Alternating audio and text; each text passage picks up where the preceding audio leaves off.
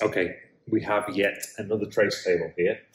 This time, this algorithm checks the temperature of hot food being served to customers. Okay? Put a plate of food in so you can see we're talking about food. So you've got an algorithm, it looks really, really, really complicated. Lots of decisions, inputs and outputs, processes, all going on. Wow. Okay? And a great big truth table. Okay? This was seven marks, this. Seven marks. So it is quite important, but it's easy. It is easy. So we'll go through it. I'll show you what I'm talking about. First of all, we've got to start with setting the counter, hot, cold, and serve all to zero. So when you think about that straight away, we're going to be doing some kind of, sort of calculation based, adding up, totaling um, different values. Okay, we're going to input the temperature. Is the temperature equal to minus one? Yes or no? Is the temperature greater than 86? Yes or no? Is the temperature less than 63? Yes or no? Serve equals serve plus one. Okay, back down, update the counter, countering, okay, and then input the temperature. So going round and around here until we've got some things where the temperature is too cold or the temperature, look at this, is too hot. Yeah, too cold, too hot. An error because the food must be frozen if it's minus one. Let's have a little look. Complete the trace table for the algorithm using this input data.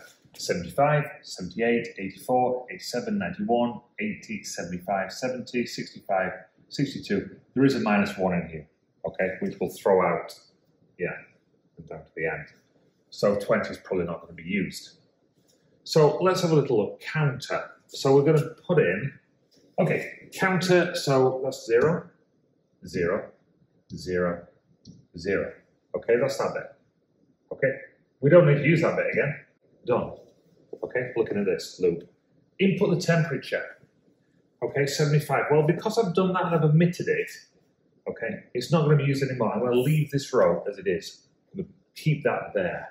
Okay, but I'm going to put in here on the next line 75. And you'll sort of see why in a moment. 75. Is the temperature equal to minus 1? Of course it's not. Is the temperature greater than 86? No. No. Is the temperature less than 63? No. Serve equals serve plus 1. Okay, so serve is serve plus one. I'll put a one in there. So it looks like we can serve that dish because it's the right temperature. That's from thinking, that's from guessing. Okay, background, counter has been assigned the value counter plus one. Okay, back up to this, input temperature, 78 this time. I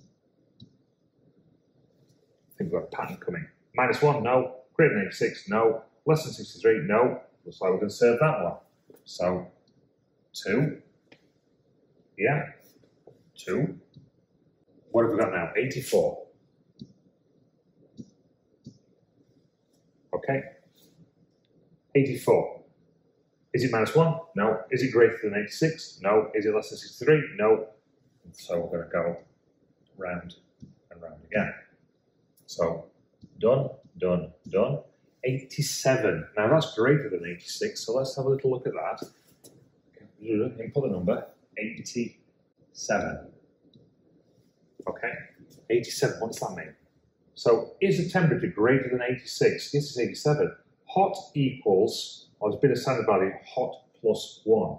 So here, we put a 1 in there. Output, too hot. Too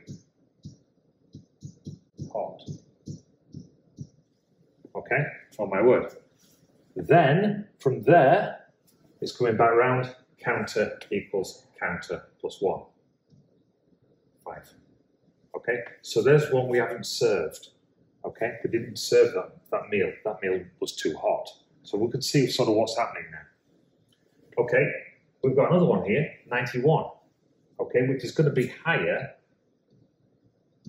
Yeah, input and temperature is it greater than? Yes, it is. So hot gets assigned hot plus one. Output too hot. Okay. Background counter equals counter. One. I'm just looking at this and thinking, I've got a little bit wrong there, haven't I? So, you're not allowed to use Tipp-Ex in exams, but please, if you make a silly mistake like that, I'm basically not being able to count numbers. Okay, three, four, five, six. Okay, six. Um, in fact, we'll leave six. It looks like it's going to count up. I'll leave six there. Yeah, counter equals counter plus one. Input the te- input the temperature. So we've done that. We're back onto looks like normal numbers now. Okay, so this is just going to go through. It's not greater than 86. It's not less than 63. So serve equals serve plus one, which is going to be four in there. Okay, counter equals counter plus one. Yeah, that was that was my six. Okay, yeah. Input the temperature. So we're now on 75. Yeah, 75 I think is going to be a good number. Yeah, it fits in between this sort of range here. So I can set my serve to 5. Okay, come back around to 7. Okay, now I've got 70, exactly the same. Okay, I'm going to serve another dish, set that to 8. Okay, 65. Okay, 65 again.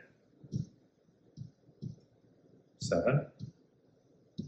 Okay, we're on 62. 62 is less than. So let's put it in here. 62. Okay, input the temperature. Down to here. Is the temperature less than 63? Yes, it is. So, yes, cold, okay, equals cold plus 1. Output too cold. Okay?